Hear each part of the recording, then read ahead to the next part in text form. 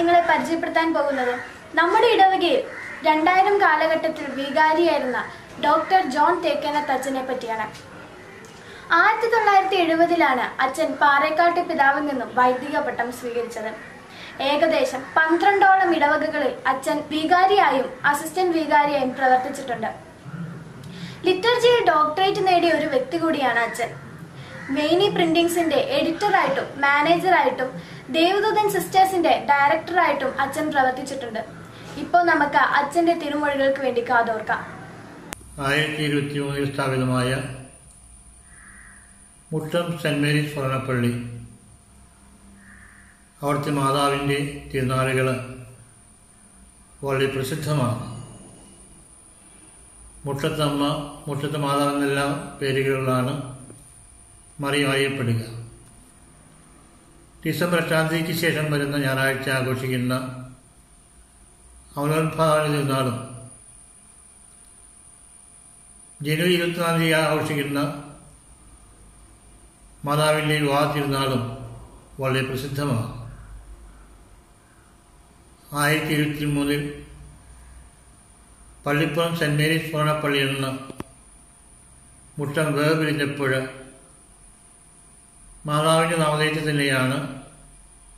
അവർ പള്ളിക്ക് രൂപം കൊടുത്തത്. കാരണം അമ്മയോടുള്ള ഒരു ബന്ധം അത്രമാത്രം അഗാധമായിരുന്നു. രണ്ടായിരം മുതൽ രണ്ടായിരത്തി അഞ്ച് വരെ ഞാനവിടെ വിചാരിയായിരുന്നപ്പോൾ മുട്ടം നിവാസികളുടെ പ്രത്യേകമായ ജാതിമത ഭേദമിന്റെ എല്ലാവരുടെയും അമ്മയോടുള്ള ഭക്തി ഞാൻ കണ്ടറിഞ്ഞിട്ടുണ്ട്. എന്ത് ചോദിച്ചാലും തരുന്ന അമ്മ അവർക്ക് ഏറ്റവും പ്രിയങ്കരിയായിരുന്നു. തങ്ങളുടെ ആപത്തുകളിൽ തുണയായി സങ്കടങ്ങളിൽ കരുത്തായി ബുദ്ധിമുട്ടുകളിൽ രക്ഷാകവചമായി മാറുന്ന അമ്മയുടെ ആ ചിത്രം അവരുടെ ഹൃദയങ്ങളിൽ എന്നും ആഴത്തിൽ പതിഞ്ഞിട്ടുണ്ട്. അമ്മയെപ്പറ്റി ചിന്തിക്കുമ്പോൾ ഒത്തിരി കാര്യങ്ങൾ എനിക്കും പറയാനായിട്ട് സാധിക്കും.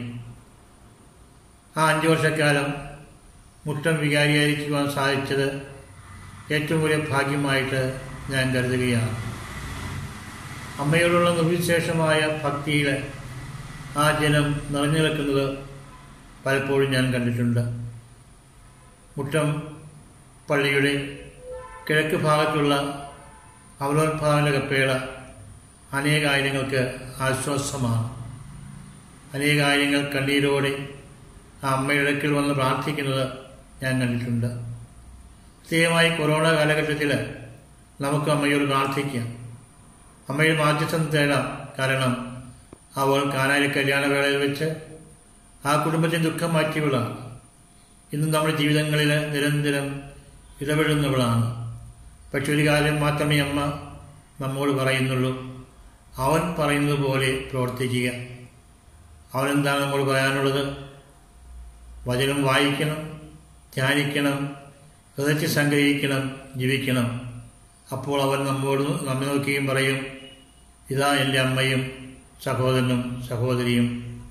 മുട്ടത്തുള്ള എല്ലാവർക്കും എന്റെ ആയിരം ആയിരം ആശംസകൾ നേരുന്നു. പരിശുദ്ധമയുടെ മാധ്യസ്ഥം വഴി നിങ്ങളും നിങ്ങളുടെ കുടുംബവും ആ നാടും അനുഗ്രഹീതമാകട്ടെ എന്ന് പ്രാർത്ഥിക്കുന്നു. നന്ദി.